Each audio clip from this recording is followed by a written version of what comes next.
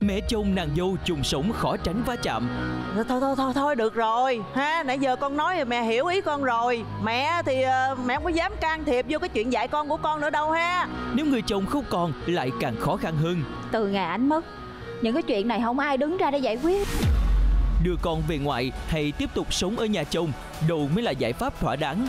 Thật ra ở đâu cũng vậy miễn sao cuộc sống hai mẹ con đó phát triển tốt đẹp. Chúng ta phải xem bối cảnh cái bối cảnh của mình và bối cảnh của nhà chồng và bản thân mình muốn gì con mình muốn gì lúc đấy mình sẽ cân nhắc. Nếu mà cái nỗi đau nó càng nhiều thì hai người phụ nữ càng phải nương tựa vào nhau. Phải xét coi là cái người mẹ chồng đó còn có con cái còn có bà, bà con họ hàng gì nữa hay không. Câu trả lời sẽ có ở quyền năng phái đẹp Chủ đề ở nội hay về ngoại sau khi chồng mất Lúc 19 giờ 15 phút ngày 4 tháng 3 trên kênh truyền hình Vĩnh Long 1